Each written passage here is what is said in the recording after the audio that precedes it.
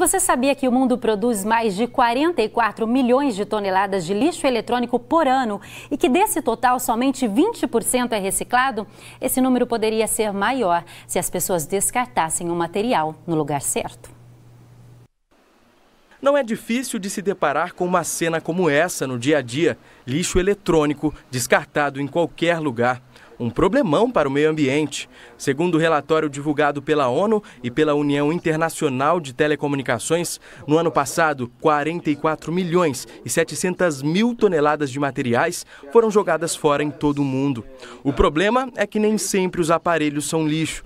Em Presidente Prudente, um centro universitário tenta diminuir esses números e promover a reciclagem. A ação faz parte do projeto E Lixo. Nós fazemos um, um trabalho de recebimento desse material, fazemos um processo de, de triagem, de análise, e aquilo que é, é interessante né, para, o, para, o, projeto, nós destinamos ao museu, por exemplo, se for um acervo né, de, de utilidade, que tem um certo valor histórico.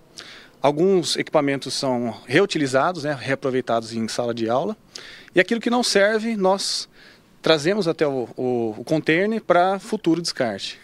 Um dos fatores para o aumento na eliminação dos dispositivos é a queda nos preços dos eletrônicos. O professor também cita outro motivo para a tendência no crescimento do descarte. Os últimos meses, devido ao, desligamento do, da TV, né, sinal analógico, tem um aumento bastante considerável e a tendência é cada vez aumentar. O centro universitário recebe baterias, celulares, televisores, computadores e diversos outros equipamentos.